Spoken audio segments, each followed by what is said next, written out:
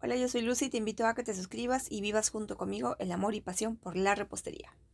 Aquí en la batidora ya tengo mi chantilly. He puesto unas gotas de colorante en gel color turquesa porque necesito un celeste encendido, pero tampoco eh, muy llamativo el tono. No le coloco celeste porque quedaría muy pálido. Es colorante en gel lo que estamos utilizando y mi chantilly pues ya está a punto de tomar eh, la consistencia que necesito. Recordemos que el chantilly le llamamos así una vez que ya lo tenemos batido y está tomando esta consistencia. Yo estoy utilizando una crema vegetal de la marca Moldant. Ya les he presentado en diferentes videos sobre esta marca, les he comentado que me gusta bastante. Tiene bastante eh, consistencia al ambiente y no se va a chorrear. En este caso solamente estoy utilizando pura crema vegetal para preparar mi chantilly. No tiene agua, no tiene ningún líquido adicional. Y hemos batido tal cual como ustedes están viendo, bajito para poder tener eh, la consistencia que necesito sin necesidad de que llegue a estar porosa o grumosa mi chantilly. Eh, si observas bien, este queque eh, está bañado con chocolate. Bueno, a veces les voy a contar un poquito. Eh, a veces no nos dejamos entender bien con el cliente o el cliente pues no sabe mucho de cómo expresarse con las decoraciones de nuestros pasteles. Eh, pero finalmente tuve aquí un pequeño inconveniente chicos y chicas. Al final les voy a dejar la decoración que realicé primero, pero que no se va a compartir aquí en YouTube. lo voy a compartir en TikTok, ¿ok?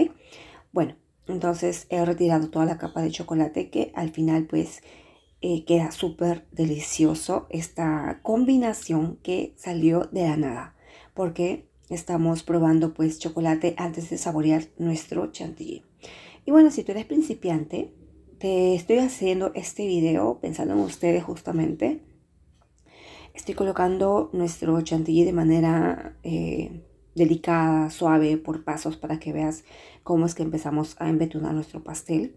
Y el último tip que les he compartido que es muy importante que tú lo realices, si es que utilizas una espátula, puedes colocar chantilly desde la parte lateral de arriba y luego vamos esparciendo. Si queremos hacer este paso lo podemos hacer. Es el cubre migas, en este caso es para cubrir nuestro chocolate puesto que está un poquito rasbaladizo a la hora de colocar nuestro chantilly. Y bueno, la otra parte para colocar nuestro chantilly es colocando así de esta manera eh, regular crema con la espátula, adhiero bien para que al momento de pasar nuestro raspa no se vaya a desprender. Y bueno, eh, aquí vamos a hacer así toda esta parte de arriba. Si tú eres eh, nueva visitante aquí en mi canal o nuevo seguidor, los invito a seguir mis videos más antiguitos o que busques acá una lista de reproducción sobre todo lo que tiene que ver con el chantilly, ¿ok? Tienes diversas maneras de poder prepararlo. Y aquí, bueno, en este caso mi crema vegetal no le puse ningún líquido. Suelo poner agua o leche o puede ser gaseosa. También le podemos colocar ello, ¿ok? Gaseosa para los amigos del extranjero, pues eh, le llamamos... Eh, le llaman ustedes soda aquí en Perú. Para quienes no me conocen, soy de Perú.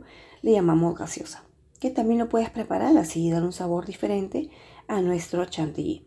También he utilizado Baileys, un licor muy agradable que también ya se los he compartido en mis redes sociales. Y bueno, aquí este truco es muy importante también que seas observador.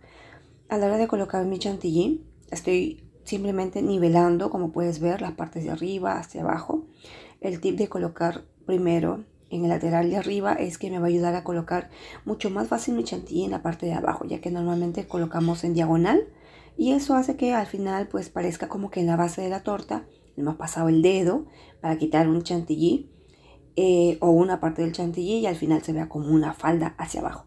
Y bueno, esto entonces vamos haciendo eh, una y otra vez el agua utilicé para que no se ponga poroso mi chantilly. Pero voy a traerles más adelante un video. Bueno, primero quiero que me dejen saber en comentarios si desean ese video. Cómo recuperar un chantilly que está totalmente poroso. Existen varias maneras. Y en mi, en mi grupo de, de cursos virtuales, que los brindo de manera eh, particular, eh, les he enseñado cómo eh, solucionar el chantilly de diversas maneras. En este caso, si deseas aprenderlo por acá, me dejas saber en un comentario si Lucy yo te sigo de tal país, tal ciudad y necesito ese video de cuando el chantilly está poroso, ¿ok? Y bueno, acá entonces ya una vez que hemos esparcido la crema, nos vamos a la parte de arriba, simplemente estoy nivelando. Este es uno de los últimos videos, eh, me estoy proponiendo ya a traerles videos de cuando ya estoy colocando con manga nuestro chantilly. Siempre les he dicho que me gusta ir por lo difícil, empezar con la espátula, siempre ha sido así, eh, ya que es más fácil colocarlo con la manga. Entonces a mí me gusta traer videos donde muchas personas les va a servir porque son principiantes y no saben algunos tips. Entonces siempre esto es con perseverancia, siempre tratando de esmerarse en cada trabajo.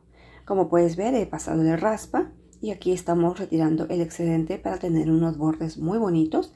Ya estoy utilizando esta espátula de codo mucho más grande, que es mucho más fácil y a eso es lo que me refiero, que en próximos videos ya estaré utilizando esta espátula para embetunar mucho más rápido y quizás traiga también donde estoy ya utilizando las mangas y no unas espátulas que yo sé que a muchos me dicen, Lucy, me desespera cuando estás con tu espátula pequeñita.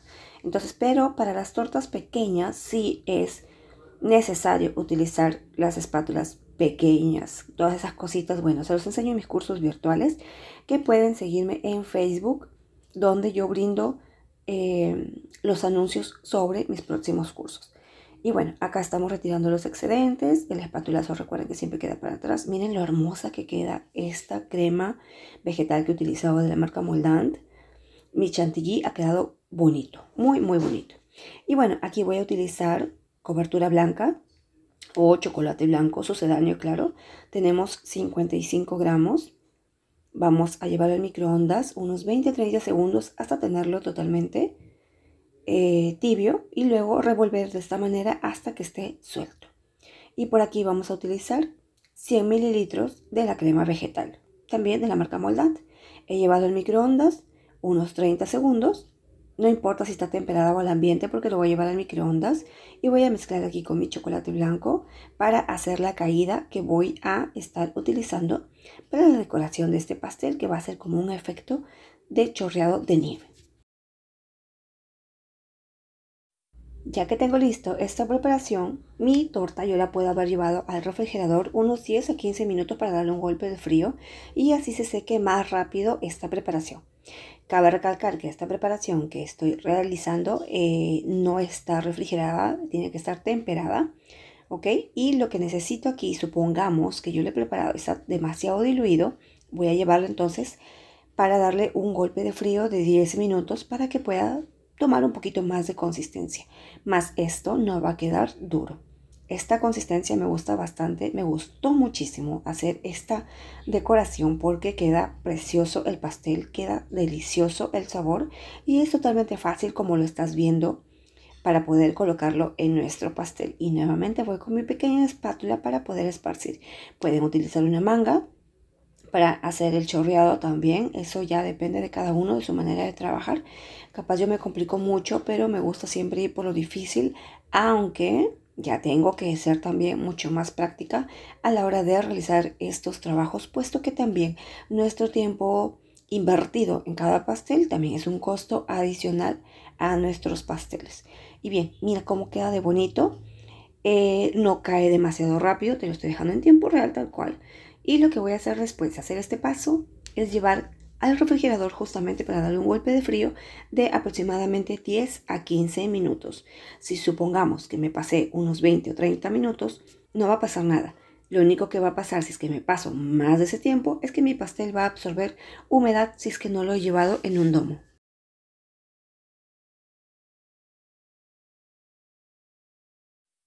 Una vez retirado del refrigerador, voy a espolvorear con este aerógrafo manual nuestra escarcha comestible. Solamente en la parte celeste, como puedes ver, quedó un celeste bonito a pesar de que utilicé un colorante en gel color turquesa. Bueno, está quedando mucho más bonito. Le he colocado unas bases de chocolate que al final, pues, eh, el tip que te comparto aquí de este grave error es colocarlo el chocolate y de inmediato nuestros pingüinos que han sido elaborados en pasta de goma. Si yo dejo secar el chocolate para colocar los pingüinos, se van a hundir puesto que el chocolate está seco. Un gusto como siempre compartir de estos errores para que ustedes también aprendan. Bueno, ya que he colocado mis pingüinos, así luce nuestra torta. Ha quedado totalmente linda, se ve muy natural, me encantan estos hermosos pingüinos que se ven súper tiernos y que te lo traigo en un próximo videito. Importante chequear la cajita de descripción porque ahí te invito a pasar a mis diferentes plataformas así como mis redes sociales. No olvides también que debajo del video hay un enlace donde te invito a pertenecer a mi grupo de repostería que es totalmente gratuito y ahí compartimos muchos tips y secretos de todas las personas que estamos ahí en ese grupo. Se ve súper bonito este pastel, no olvides, no te vayas sin darle un pulgarcito arriba, valora mi contenido, te lo voy a agradecer bastante, esto me motiva para poder seguir compartiendo como siempre todos estos trabajos que vengo realizando para ustedes con mucho cariño y para mis clientes. Y bueno, Aquí ya luces sin fondo para que lo veas más claro esta torta o pastel que se ve bien bonito, bien tierno, bien sencillito, fácil de elaborar, no me tomó mucho tiempo, así que espero que te haya gustado el video. Y para ti, querido seguidor, seguidora, que siempre estás compartiendo mis videos, te lo voy a agradecer bastante, infinitamente. Gracias de corazón por todo tu apoyo y a todas las personas que como siempre dejan sus comentarios constructivos, llenos de mucho cariño. Se les agradece bastante. Como siempre, para mí es un placer poder compartir mis trabajos con ustedes. Y para esta cliente, que es la segunda vez que le hago una torta, le preparé estos cupcakes de Oreo con chantilly de Oreo, que también aquí en mi canal lo tienes. Y bueno, la primera presentación de esta torta era así de chocolate, que como siempre te lo voy a compartir en otra red social. Así que espero que te haya gustado. Ah, la clienta me dijo, Lucy, dice mi hija que quiere este pastel que lo hagas tú, no quiere de nadie más. Así que quieres preparación de queques de chocolate, pues aquí en mi canal también lo tienes, así como las diferentes recetas que comparto para que tú también puedas emprender tu propio negocio.